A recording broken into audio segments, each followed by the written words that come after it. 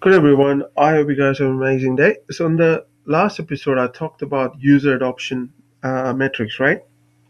Where I spoke about um, the best way you can uh, measure the user uh, adoption metrics, right?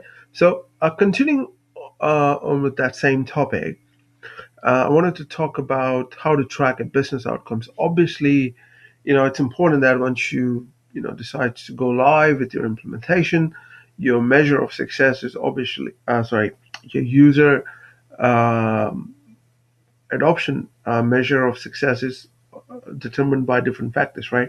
And even demonstrated how you can you know uh, use a different dashboard to track that. Pretty, pretty cool right?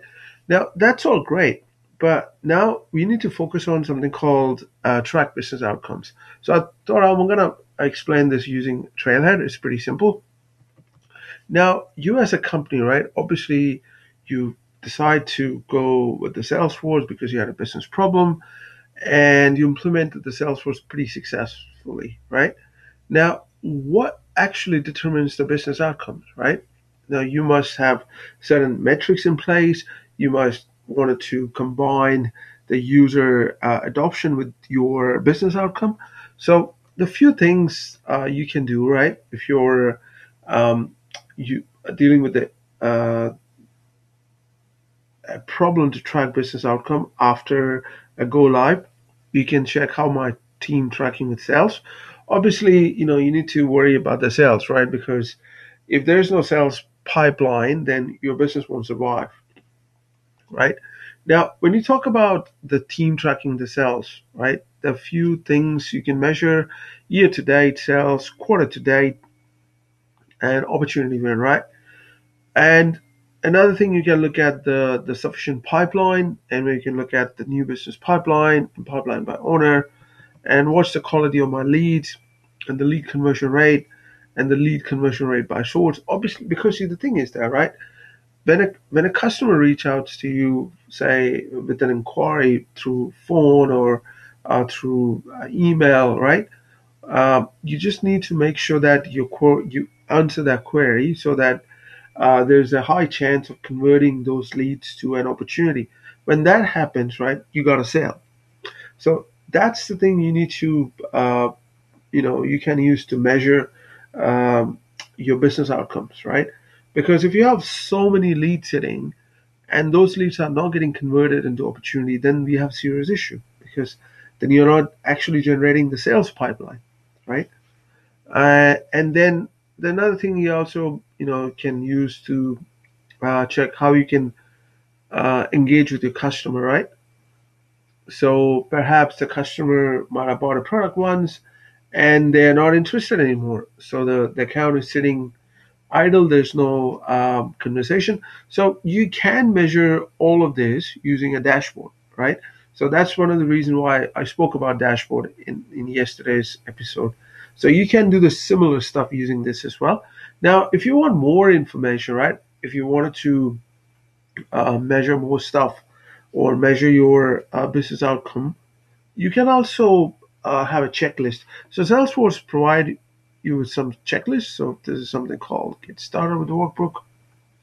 So this is a pretty handy manual, in my opinion. So it talks about your goals, your pain points, your usage and data quality, feedback, business performance, and how do you define your sales process? That's about the user experience, right? And display it, empower your user. Because the whole adoption strategy, when you talk about, right, it does involve empowering your user because your super user needs to be on board, your regular user needs to be on board, the people who are going to use Salesforce needs to be on board, right? Maybe your um, the CEO or even the architects who needs to be on board because uh, they can vision the future pipeline in terms of uh, functionality upgrade or other aspect of it, right? And the super users are very important because they are the one, they're the champions of your product. They are the one who will be using it often. They are the one who will be uh, writing the business process. They are the one who will be training other people, right? So they needs to be on board. So a lot of things you need to factor that into consideration when you talk about user adoption, because the user adoption, though sounds like a very simple term, right? but it has a huge connotation if you are not going to pay very attention to it because obviously you decide to go with the product, you implement the product, then the user needs to be on board, and your business process needs to be on board as well because obviously um, whichever software you go with, right? It doesn't matter um, you with Microsoft CRM or it doesn't matter you go with the Salesforce. The, the key is you just need to remember that whatever software you use to implement, users should be on board and it reflects your business outcome, right? Obviously, you're there to make money. If it's going to help you accelerate that process, that means you're you have implemented the right thing, right? You're actually taking care of your pain point. If that's not the case, then unfortunately you miss that opportunity to take care of the pain point. So that's one of the reasons why I personally believe the uh, user adoption metrics is very important, right? So this seems like a pretty simple topic, uh, but it's very crucial in my opinion. And what a great way to start this um, um, certification, right? The training process. We looked at the user adoption process. So what have you learned? If I ask you, so if I if I wanted to have a conversation with you, right? If you're going to learn this certification, let me ask you what have you learned? If I put you, uh, if if you are having an interview with me, and let me throw a curveball question at you. So the question will be: So I decided to implement, say, SAP, uh, you know, and we have an old legacy system, and and the users are not on board uh, with uh, to with the SAP implementation. How do you go and convince your user? What's the first strategy you're going to uh, keep into consideration? What's the first step you follow to make sure that users are on board? Are you going to frame a training process? Are you going to show them the software? Or are you going to uh, uh, decide just to ignore them and, and go on with the implementation? Or are you going to worry about the post implementation stage?